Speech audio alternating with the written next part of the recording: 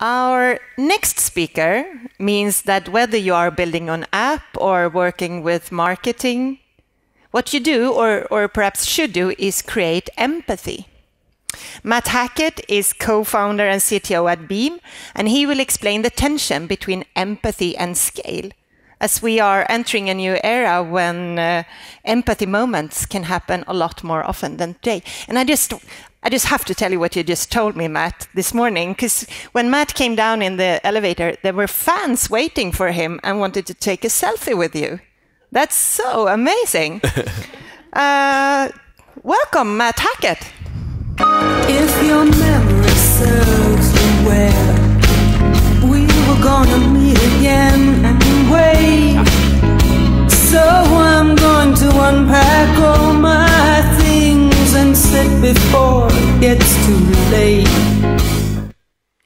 That was the very slow version of the theme song for Absolutely Fabulous, which I know has a different Swedish name that I don't know. But um, all right, so I'm going to talk about this idea of scale and empathy and how these two are a bit in tension and how video presents a potential for us to sort of get beyond that tension. Um, but before I do that, I want to go back to January 2011. So January 2011 was a pretty exciting time on the internet and in the world. Uh, you may or may not remember, but that was the beginning of what would become uh, the Arab Spring, as we call it. But really, at the time, it was just these protests in Egypt that were spurred by social media and really gaining an incredible amount of momentum. And at that time, I was the VP of engineering at Tumblr, and a lot of the social networks were hearing from NGOs and from other groups that were concerned about these protests that there was the real potential for the Egyptian government to turn off the internet in Egypt uh, as a sort of last ditch effort to get rid of the, the revolution and to get rid of these protests. And so, the Committee to Protect Journalists, a few other NGOs, had been talking with networks like ourselves about this potential. And when they started, you know, sort of telling us that this might be something that could happen, that Egypt could fall off the internet, uh, I opened a little window in my desktop in New York that was looking at all of our traffic coming from Egypt. And I just left it there in the corner for a few days. And most of the time, that just scrolled super quickly past hundreds, thousands of requests a second. Uh, you know, very typical sort of log file of traffic.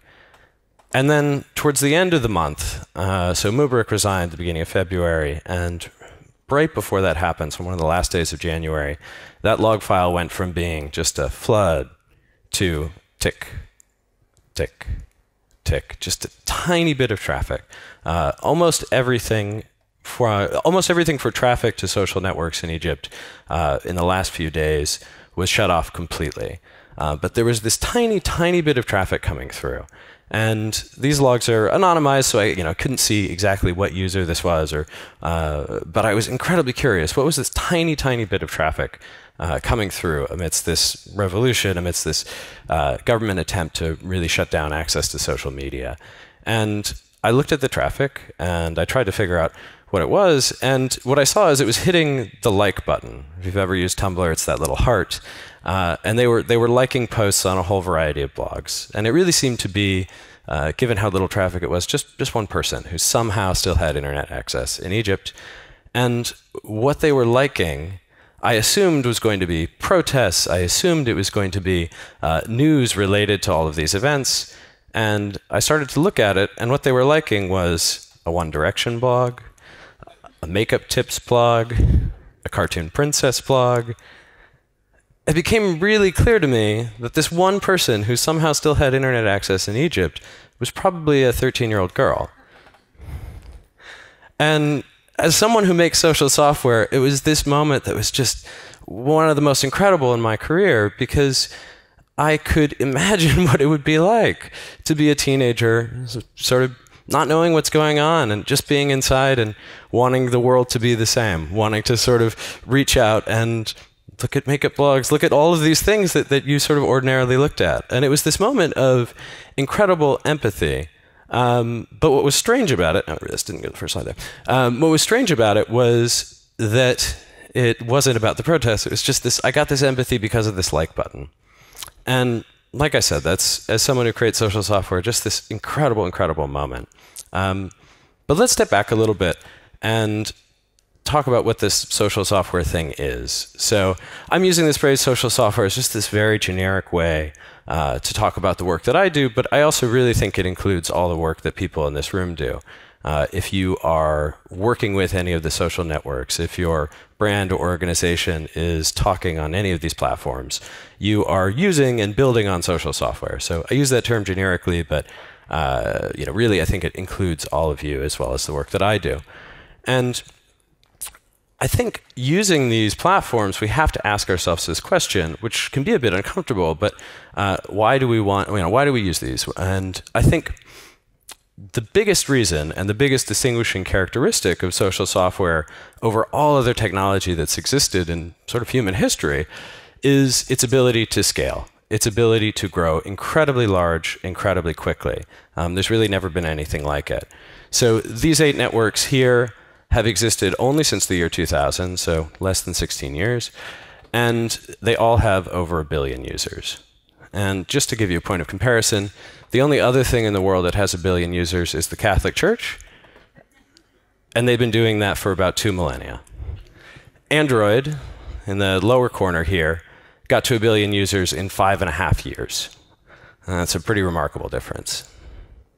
So, you know, we, we really use these platforms because of their ability to scale. Uh, but I think we also have to ask ourselves, you know, why, why do we want to build things at such scale? Why is scaling a good thing? And for me, the answer is very simple. Scale and social software's ability to scale uh, is important, and I'm interested in the work, and I think you all are probably interested for very similar reasons because of the incredible capacity to create more empathy, the potential for software that grows so big to connect people across the world, the potential that is in moments like that moment of me really understanding what it would be like and being able to put myself in the position of a teenager in Egypt. So, empathy is the reason that we build and use these platforms, I think. Of course, anyone who's built a website with a comments section or looked at a YouTube video and scrolled below the fold knows that often having more users, being able to scale, actually doesn't mean creating more empathy. In fact, it can be quite the opposite. More often than not, when these systems get larger, they actually reduce the sort of net empathy in the world. And let me give you a concrete example of that. It's very abstract. So let's go back to this like button, uh, and let's go back a few years earlier. So in 2008, there was this sort of convergent evolution, as happens fairly often uh, with social software and with these platforms. And buttons like this, this is the like button from Tumblr. It's a heart. Uh, it's a star on Twitter that's now also become a heart. It's a thumbs up on Facebook. It's an upvote on Digg or Reddit. Uh, this gesture is something that arrived on all these platforms pretty much at once. And we've gotten very used to it. We've gotten used to seeing it on pretty much everything on the internet.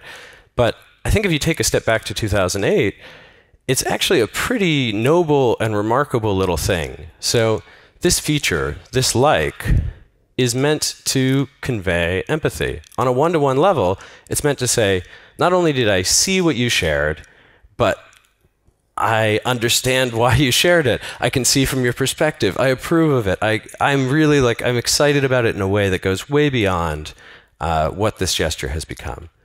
And what this gesture has become, once it hits scale, is something a little bit less interesting.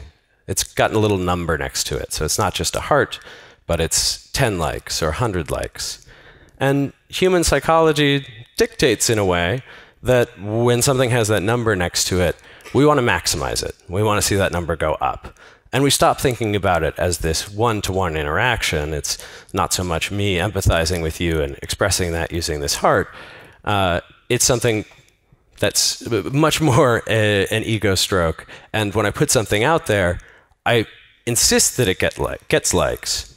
And that's what this phrase smash the like is. I don't know if anyone's familiar with that, but you'll often see people post a, a YouTube video or, uh, or an Instagram and say smash the like, meaning you've got to like this.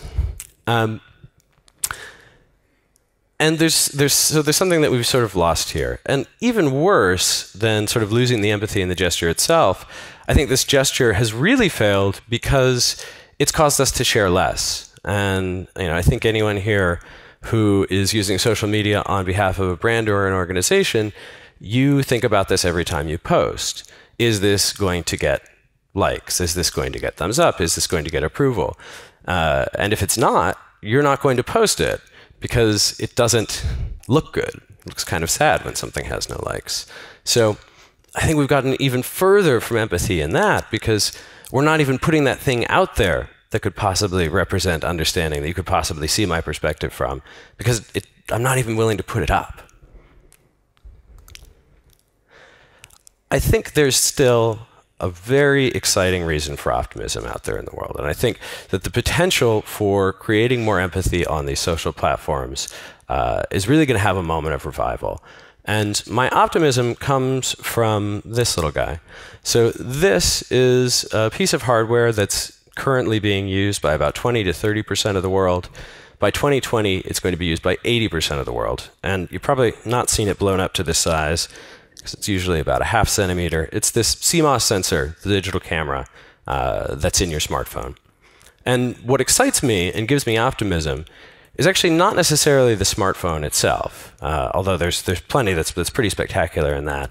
What I'm really excited about is this camera connected to a network chip, because this network camera in the hands of 80% of the world means that 80% of the world can share uh, not you know what they've pulled out down off the internet, but what they actually see. They can share their actual perspective. And it's this optimism around this sort of distributed networked camera and its potential that led myself and my co-founder Casey Neistat uh, to form a company called Beam. So, quick Beam demo. Uh, so, Beam is a platform that is about turning this device into as raw a sharing platform as possible, to using this camera in the most sort of native possible way. So when you share on Beam, instead of looking at your device and editing, uh, all you need to do is this. So I'm going to show the tens of thousands of people following me what it's like to be on stage right now, what it's like to be me. And to do that, I just go like this. Say hello. And as soon as I pull my phone away, that clip has been shared. If I want to add a little context, hey, I'm on stage in Malmo talking about empathy and video. Goes back in my pocket. No opportunity to preview, to review, to edit. All of that is shared instantly. And I'm not here to sell you on Beam. I'm here to just talk about this potential. So this is one possible incarnation of the use of this sensor. And I think it's easy to see me as the founder of a company and dismiss this optimism and go, yeah, you know, that's you're hoping you're going to be successful and you're counting on this this sensor to do this thing and the sensor to really increase empathy in the way you're talking about. But the data and the science actually back me up here. So if you look at global mobile video traffic, in 2012 to 2016, it's increased five times. So, five times the amount of traffic is video. And Ericsson is currently predicting, and the number was so high that I couldn't even fit it on this chart.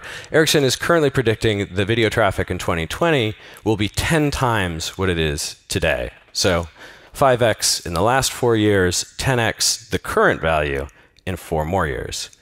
So video is this tidal wave. And I think if you take one thing away from this talk, it is that you have to be thinking about video now because these numbers are going up exponentially. And consumers and citizens are going to be expecting video very soon. But more than just the fact that video is going to be ubiquitous, I actually have looked into some of the psychological studies around video, and they show that video can actually increase empathy in an objectively measured way. So there are a couple of studies, um, and they're mostly in developmental psychology, uh, looking at education. Um, but there are a couple studies in education that pulled groups apart and separated one group that was taught with just video and one with just text. So one of these groups were first year medical students who were learning about blood disorders. And one group was taught purely with text, sort of classic seminar style. The other group was taught with a mix of text and video. And the study showed that the group that was taught with text and video had more empathy for their patients, had more empathy for the families of people who were going through the, the problems related to these blood disorders. And there was a second study that was done with special, special education teachers in training. So people who are learning to be teachers to students with special needs. And uh, this is the same sort of experiment. Half the group was taught with only text, the other half was taught with text and video. And the group that was taught with text and video again showed on an objective there's actually a, a, psychological test i think it's like the jefferson empathy test um, but there's an index of empathy and they showed again that the group that was taught with video had more empathy for students and had more ability to sort of understand their perspective when they were taught with video uh, so this this potential is not just uh, something that I, I, am sort of imagining as I see these sensors and as someone who's made a big bet on them, uh, this potential in video to see empathy increase as scale increase is real.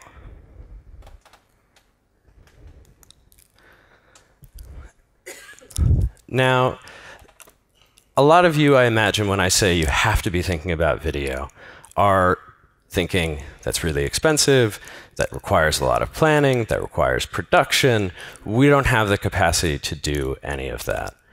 And what I think is really exciting about this sort of revolution that's going on right now is that you don't have to have any of those things. You don't have to have a budget. You don't have to, to have extensive planning. You don't have to have extensive staff to create. And whether it's Beam or Facebook Live or Snapchat, all of these platforms allow for a sort of raw kind of sharing uh, that users will really forgive a lot in the way of production values and you can really, really get started on today. And I think this sort of revolution that we're in the midst of is incredibly exciting because it means that there is finally this potential for social software, these things that I build and so many people in this room use, to actually scale up in empathy as they scale up in users. And I think we can finally get past this era where we're hitting this funny little like button to say, I empathize, I get it. And if we want to say we like something, just look at your phone and say, hey, I really like that. Thank you very much.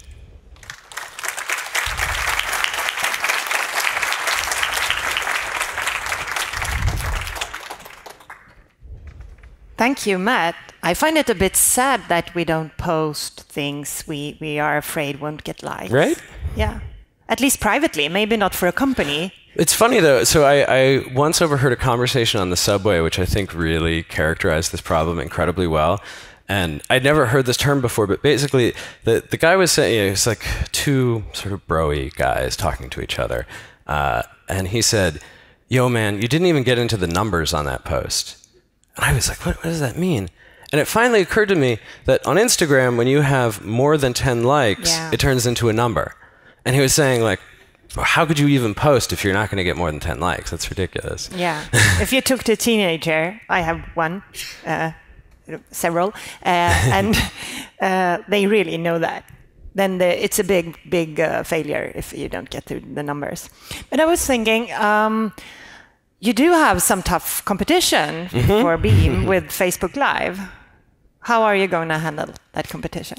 Yeah, it's interesting. So I think we're we're really not in the live space, um, and this is something that that is all being defined right now. I think people uh, are searching for terms in this, and I don't know that we have our own term exactly. But you know, Beam is sort of near real time, but it gets over a lot of the the difficulties that you have in live. In there's something really exciting that happens in minute 17, but the first 17 minutes are fumbling with the camera, getting everything set up, context, and waiting. Um, and Beam is about being able to distill that to its quick little moments. So, you know, I can share something at the beginning, eight second clip, share something in the middle with a little more context, eight second clip, and then share the, the sort of big crescendo, four second clip. Uh, and that gets cut in automatically into one little video. uh, and I don't have to sit around and wait for 17 minutes. Um, another thing I was thinking about is with Beam and, and other uh, apps that function the same way, there is a risk that you will film people that won't like it or, or don't want to be filmed. What, what's your yeah? This is really interesting. This is something that I uh, I hear a lot more in Europe than in the states. I mean, I think the the What, norms. how come? Do you think? I just think the norms are very different. I think that the the way that people share and think about sharing in the U.S. tends to be less privacy centric, and I you know I think that's just a, a cultural thing. I'm not quite sure what the source of that is.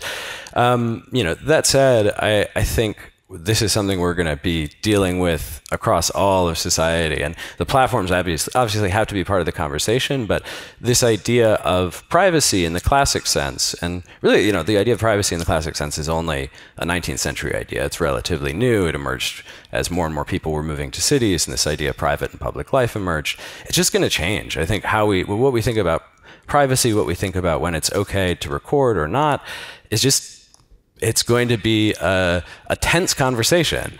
Um, and you know, I think for Beam, what we what we really focused on was having community guidelines that make it really clear that you can't use the platform to make people uncomfortable. And I forget the language we use exactly, but you know, even before we launched, we put language in there that that said, you know, if you're uh, if you're using Beam to clandestinely record, the content will be removed and your account will be deleted because we really, really don't want that uh, sort of, you know, sneaky posting. Yeah. Um, but yeah, it's a it's a really it's a dense, complicated conversation that I think we're all going to be having for a while.